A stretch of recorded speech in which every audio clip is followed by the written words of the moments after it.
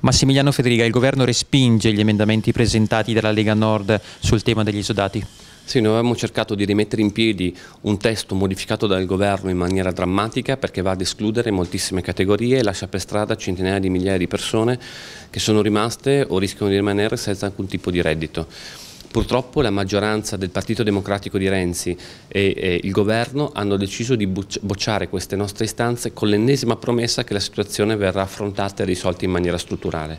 Peccato, peccato che è da più di due anni che aspettiamo questa soluzione strutturale che dai governi di centro-sinistra non arriva mai. Insomma le solite promesse di Renzi mai rispettate. Non solo, la copertura che viene utilizzata eh, per andare a coprire l'emendamento del governo è eh, l'utilizzo dei fondi per gli ammortizzatori sociali in deroga, insomma una misura vergognosa che vuole mettere categorie a rischio contro altre categorie a rischio. Noi avevamo presentato soluzioni alternative strutturali come per esempio andare ad aumentare i risparmi della spending review, vuol dire andare a diminuire gli sprechi per andare a tutelare gli esodati, loro invece il governo di Renzi ha preferito colpire i mobilitati e coloro che vivono la crisi occupazionale.